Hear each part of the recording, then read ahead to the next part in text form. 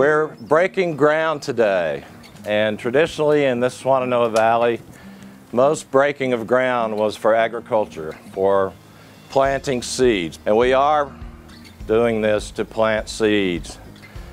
Seeds that will grow delicious, beautiful, and healthy fruit. And that fruit is the improved lives of 95 families and individuals.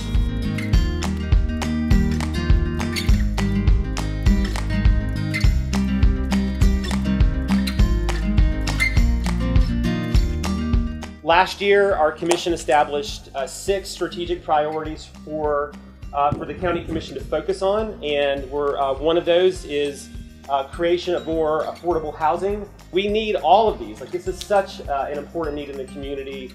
It's a large scale need, and that's part of why this project in particular is so exciting because it's going to produce almost 100 permanently affordable units.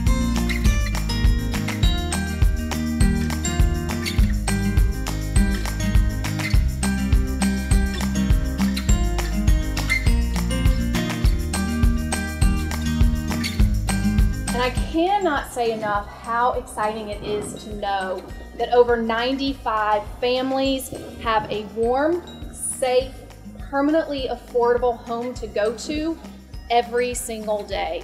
In walking distance to a grocery store, in line with transit. I'm also so impressed with Mountain Housing Opportunities setting aside units specifically for our veterans in such great proximity to the VA hospital.